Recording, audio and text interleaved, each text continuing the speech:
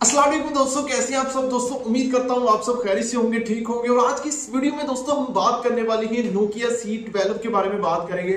और इस फ़ोन की कंप्लीट डिटेल के साथ, इस फ़ोन की कंफर्म प्राइस भी निकल के सामने आ चुकी है। और आज हम इस स्मार्टफ़ोन की प्राइस के साथ साथ, इस फ़ोन के कुछ खास फीचर्स के बारे में भी बात करेंगे। देखो भाई, अगर आप नोकिया के फ़ैन है नोकिया के स्मार्टफ़ोन ज़्यादातर यूज़ करते हैं तो आपको पता ही होगा कि नोकिया के स्मार्टफ़ोन कितने हैवी होते हैं। और डिज़ाइनिंग के अंदर थोड़े से नॉर्मल होते हैं, लेकिन फिर भी इसके अंदर अच्छी खासी डिज़ाइनिंग दी गई है। लेकिन अगर आप कैमरे वाइज अपना स्मार्टफ़ोन लेना चाह रहे हो तो भाई इस फ़ोन के अंदर एक नॉर्मल से कैमराज होंगे नॉर्मल सी परफॉर्मेंस होगी, लेकिन फिर भी आपको एक अच्छी खासी वैल्यू दे जाएगी। लेकिन दोस्तों, इस फ़ोन की प्राइस सुनोगे तो आप इस फ़ोन की तरफ़ जाना ज़रूर चाहोगे अच्छा इस फ़ोन की सबसे पहले अगर यूरोपियन मार्केट के अंदर अगर देखा जाए तो अवेलेबिलिटी है, और यहाँ पर यूरोपियन मार्केट के अंदर ऑस्ट्रेलिया के अंदर हो गया या अदर कंट्रीज़ के अंदर यूरोप के अंदर जो है, ये फ़ोन अवेलेबल है। और साथ में दोस्तों, अगर इस फ़ोन की यूरो के अंदर प्राइस की बात की जाए, वो 120 यूरो है, और आप अंदाज़ा लगा सकते हैं तो पाकिस्तान में ये फ़ोन तकरीबन तीस हज़ार के राउंड बनता है। और यकीन दोस्तों, इस फ़ोन की पाकिस्तान के अंदर जो प्राइस है, वो तीस हज़ार से ऊपर ही आपको देखने को मिलेगी। और इंडियन मार्केट के अंदर अगर देखा जाए तो ये फ़ोन दस हज़ार पाँच सौ रुपए के अंदर इंडियन मार्केट के अंदर इस फ़ोन की प्राइस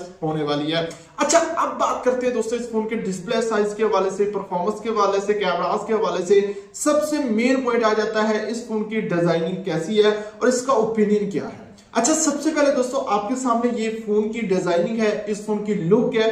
जो कि इस फ़ोन के कैमरास एक बिल्कुल नॉर्मल साइज़ जो कि सिंगल कैमरा देखने को मिलता है। उसके साथ ही दोस्तों, ये फ़ोन जो है वो अपने एक नॉर्मल से लुक पेश करेगा। ज़्यादा आपको एक हाई लेवल की या इंटरेस्टिंग लुक नहीं देखने को मिलेगी, लेकिन फिर भी एक नया स्मार्टफ़ोन है, उसकी लुक जो है वो एक अच्छी खासी लगती है। तो उम्मीद यही करूँगा कि इस फ़ोन की लुक भी आपको डिज़ाइनिंग भी काफ़ी अच्छी, बेहतर लगेगी। अच्छा आप बात कर लेते हैं दोस्तों इस फ़ोन के डिस्प्ले साइज़ के हवाले से, जो कि आपको सिक्स पॉइंट का आपको डिस्प्ले साइज़ देखने को मिलता है। और साथ में दोस्तों, आपको एच डी प्लस रेजोल्यूशन भी देखने को मिल जाता है। लेकिन साथ में दोस्तों, आपको आईपीएस एलसीडी के पैनल के साथ आपको एक नॉर्मल रिफ्रेश रेट जो है वो सिक्सटी हर्ट का देखने को मिलता है।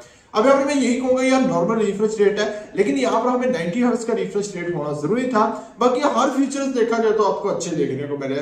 बस यहाँ पर नोकिया ने एक ही कमी की है, वो है रिफ्रेश रेट जो कि हमें थोड़ा सा काफ़ी कम देखने को मिला। खैर, बात करते हैं अब स्मार्टफ़ोन की परफॉर्मेंस वाइज के हवाले से। इस फ़ोन की परफॉर्मेंस किलर है सीरियसली किलर है। क्यों? क्योंकि स्मार्टफ़ोन तरह आपको एंड्रॉइड ट्वेल्व का एंड्रॉइड ट्वेल्व गो का ऑपरेटिंग सिस्टम देखने को मिल। है एंड्रॉइड ट्वेल्व एक अलग है, और एंड्रॉइड ट्वेल्व गो जो है ऑपरेटिंग सिस्टम उससे थोड़ा सा अच्छा ही होगा। मतलब बात करने का यही है कि आपको एक अच्छा सॉफ्टवेयर देखने को मिला, लेकिन साथ में जो चिपसेट है वो आपको यूनी एसओसी का S C nine eight six three A one का देखने को मिल। रहा है बस ये यहाँ पर आपको चिपसेट देखने को मिला। इसके अंदर आपको ट्वेल्व नैनोमीटर की टेक्नोलॉजी देखने को मिलेगी। अब जितना नैनोमीटर कम होंगे, जितना आर्किटेक्चर कम होंगे, उतनी ही परफॉर्मेंस इनहेंस होगी। बात करूँगा यहाँ पर कि यहाँ पर अगर गेमिंग के हवाले से आप अपना स्मार्टफ़ोन लेना चाह रहे हो ना तो इसके अंदर एक नॉर्मल गेमिंग देखने को मिलेगी। अगर आप पबजी वगैरह उस तरह के गेम्स की तरफ़ अगर रिटर्न हो रहे हो ना तो मुझे नहीं लगता है कि इसके अंदर आप उस तरह के गेम्स आप रन कर पाओगे। लेकिन यहाँ पर मैं आपको छोटे छोटे गेम्स का जो है वो इजिली कहता हूँ। अब यहाँ पर तो जो वेरियंट देखने को मिलता है ना, वो आपको दो जीबी के साथ चौसठ जीबी या माइक्रो एसडी कार्ड का सपोर्ट भी देखने को मिल जाता है। अब रैम बहुत ही कम है।